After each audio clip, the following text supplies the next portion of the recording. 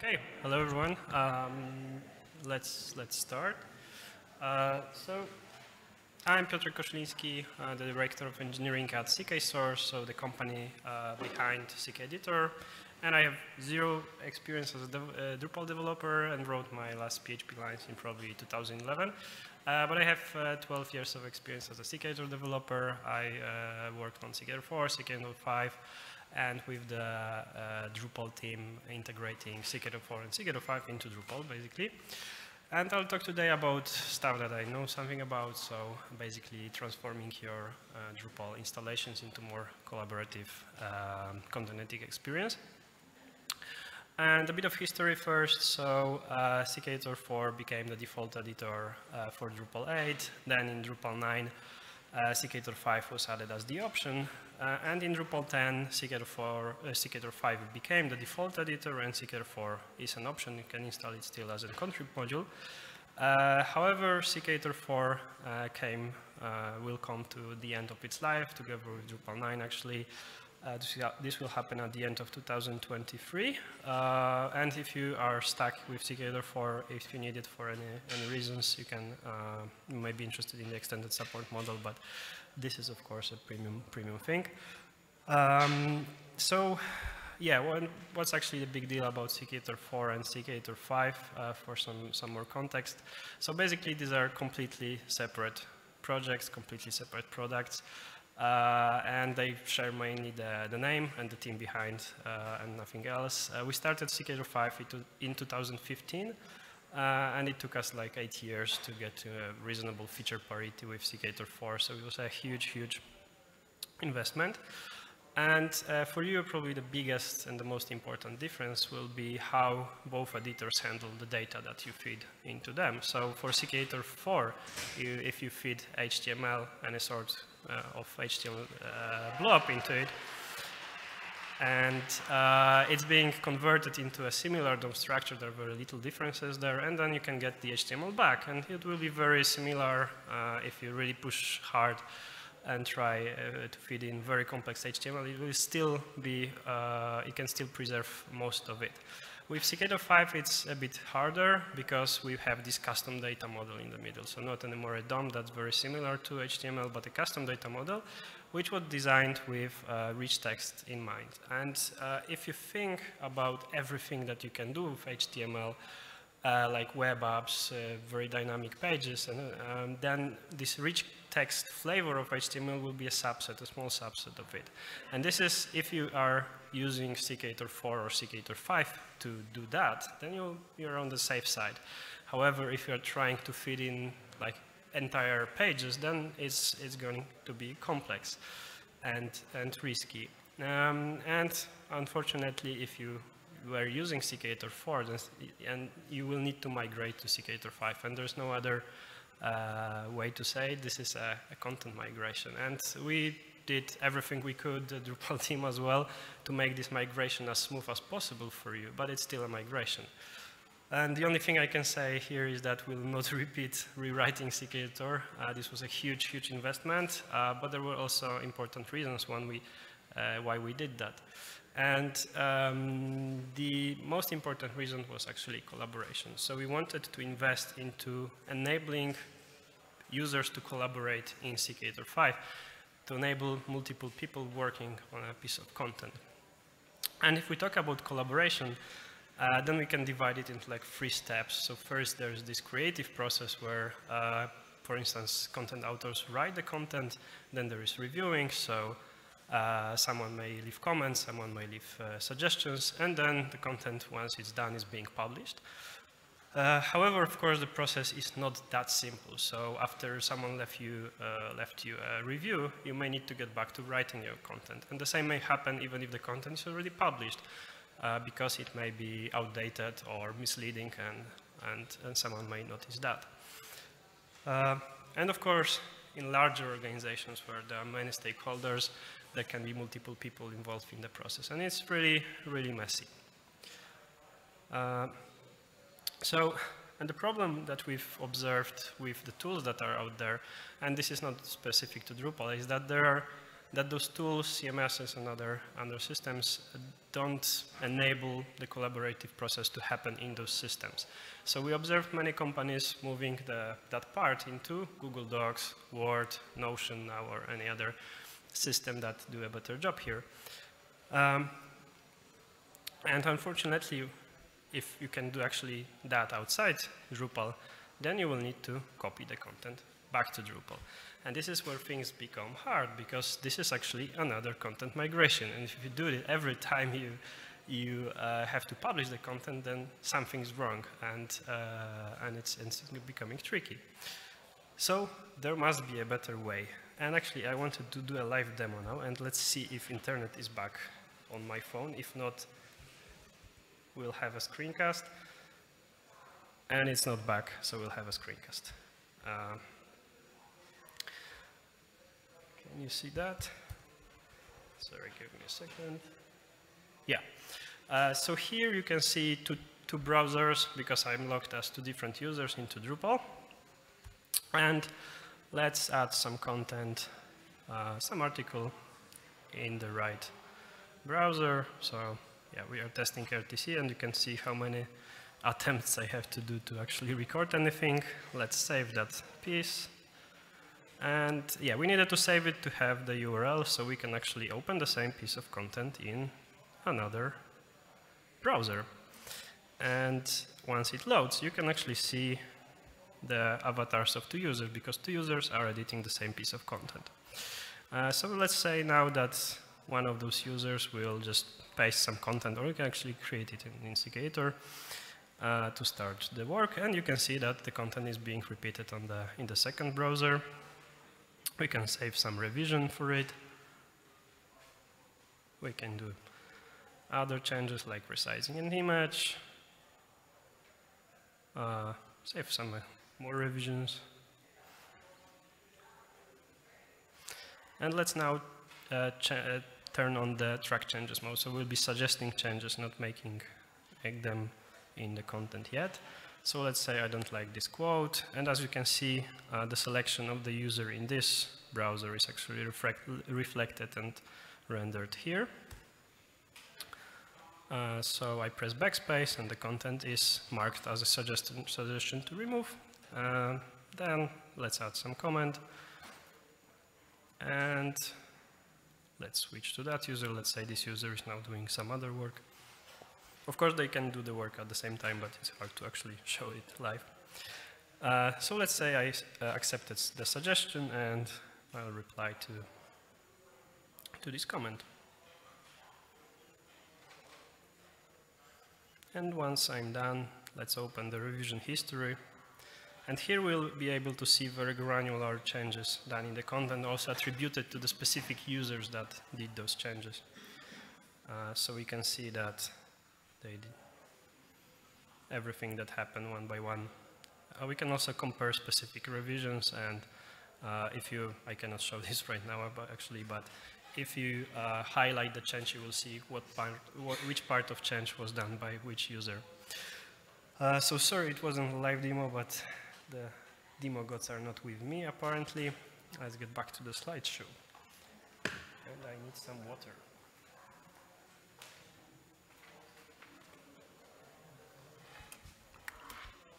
So yeah, no demo. Uh, back to some uh, theory. Uh, so the collaboration can be split into two types. So there's this synchronous collaboration that's real-time, that's non-blocking, when multiple people can work at the same time on a single piece of content. But collaboration can also happen in an asynchronous way when it's still blocking, but you can still like leave comments, then the other person can respond to these comments, then some other person can apply changes. So this is th those two modes make some sense.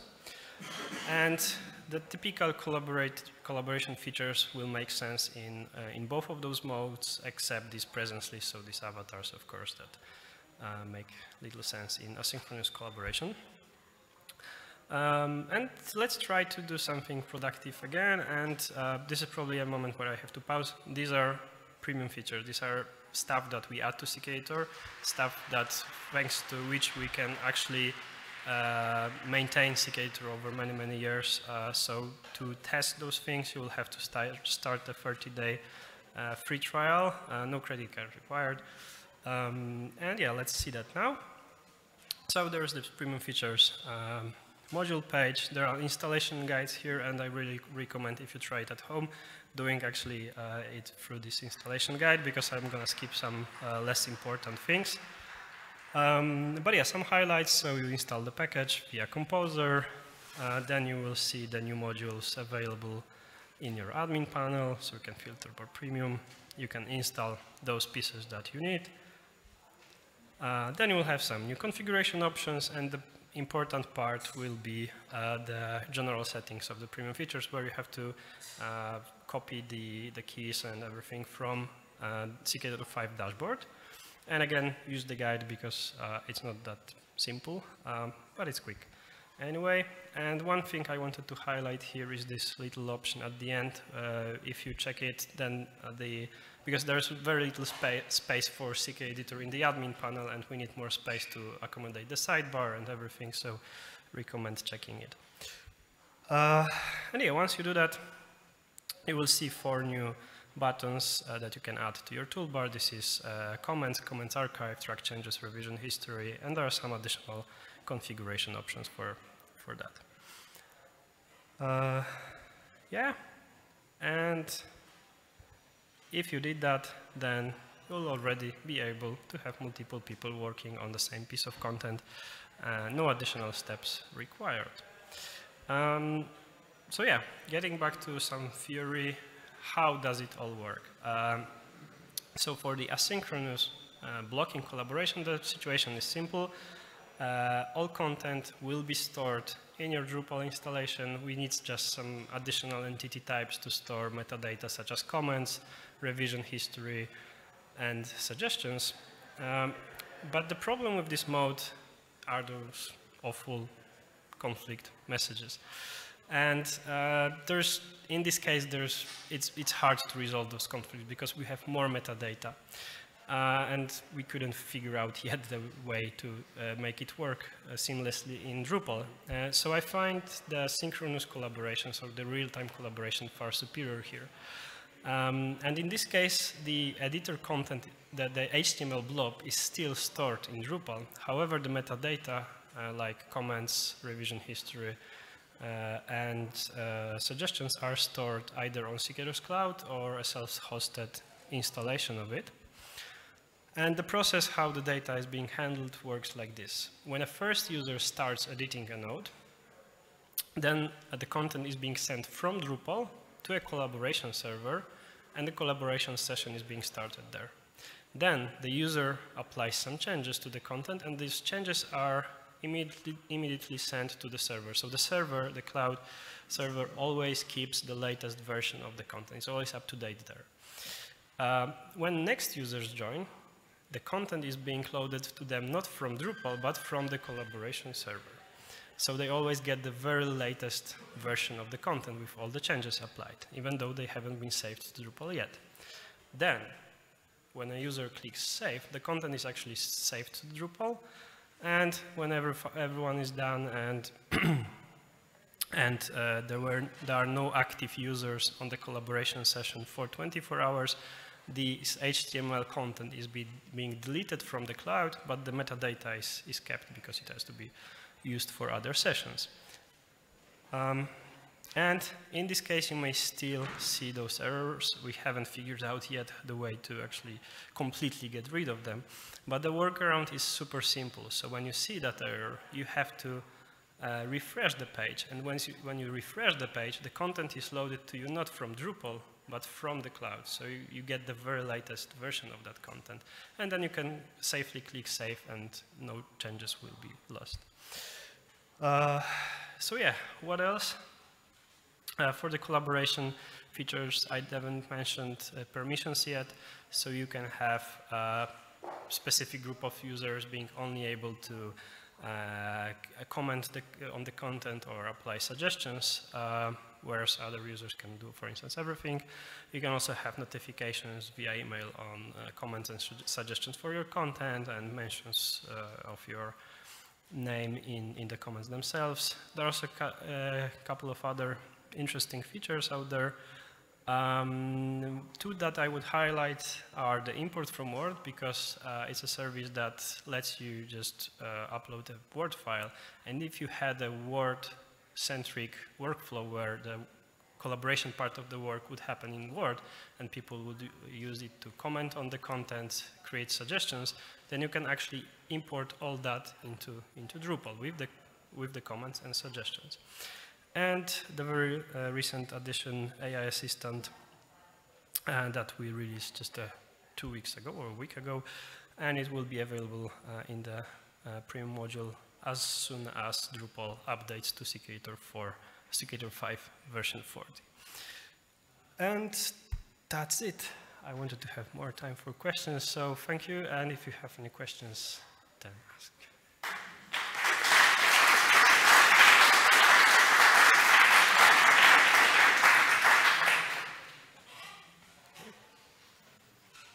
Yeah. Uh, How well would CKEditor work to edit like real documents, like something that would be stored as a docx file? so, at some point, oh, sorry. Uh, uh, so, how would uh, CKEditor work to edit docx files? Let's say, probably you have docx files somewhere, and you just just start. You want to start editing them. So um, you can do two, two things. You can copy the content from Word or you can import. Import will preserve more content, uh, but like copying is, is a free feature. It's by default in CKEditor 5. Uh, importing is a premium service. Uh, but it allows, when, you, when we have the file and we can proce process the file, we can uh, preserve more formatting and also more, uh, and we can preserve those suggestions and comments.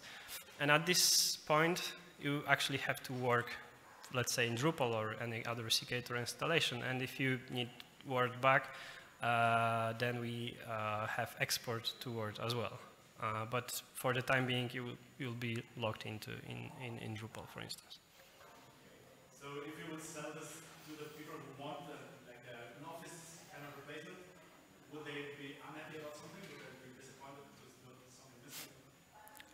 So there's no full, uh, full parity between uh, Word and, and CKEditor. CKEditor, we never wanted to make it actually like a Word replacement, but uh, in many, many cases, we have many, many organizations using CKEditor for document editing. Uh, the level of features that we have is sufficient. So it really depends on what you actually need. If you have like very rich templated, structured uh, Word files, then you may need, you may miss some some features. But uh, many will will work.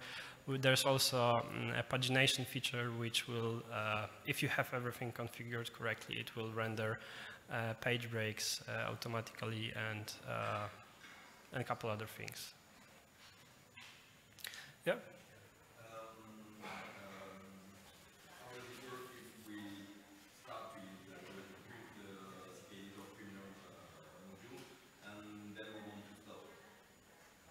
Okay, so the question.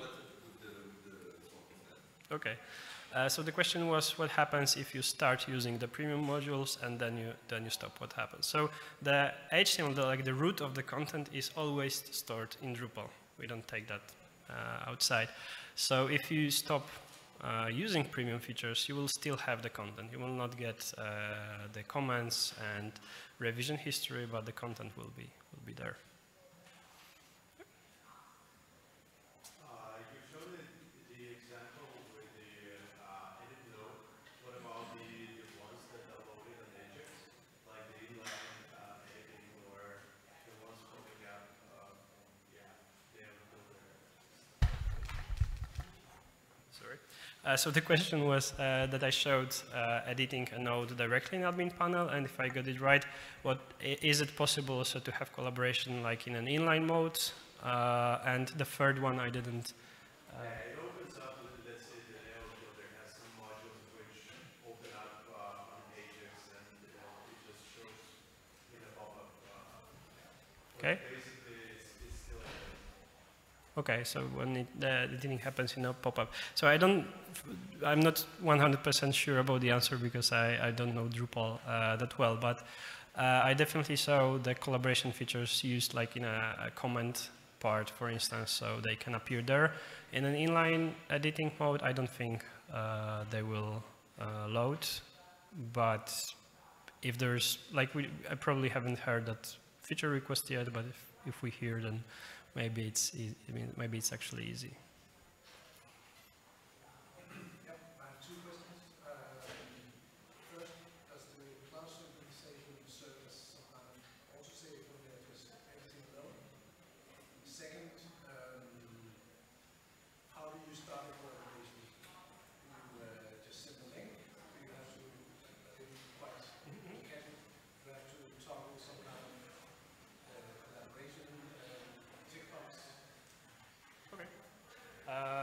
So the first question was how, whether there's autosave.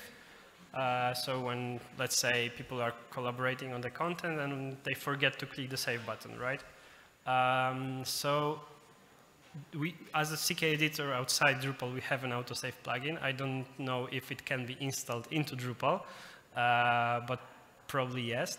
But uh, an important thing here would be that if, let's say, two guys are collaborating, working on a piece of content and both, I don't know, drops because internet connection ends, uh, the content will be still stored, all the changes, even though they haven't been sent to Drupal, they will be stored on the uh, cloud uh, server for 24 hours. So when they join again, they can still get the very, very latest version and save back to Drupal.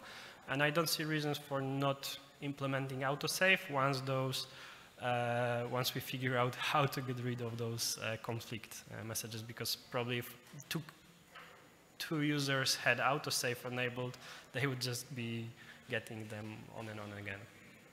And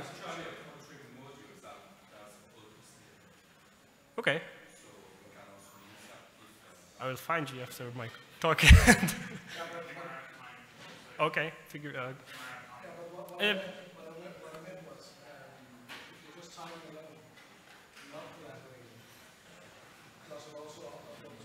So uh, we are running out of time, uh, but I can stay here for however how long do you want. So I'll be uh, in front of the room, and we also have a booth at the end. Uh, there are some useful links, and I will post them on my Twitter. Uh, thank you very much.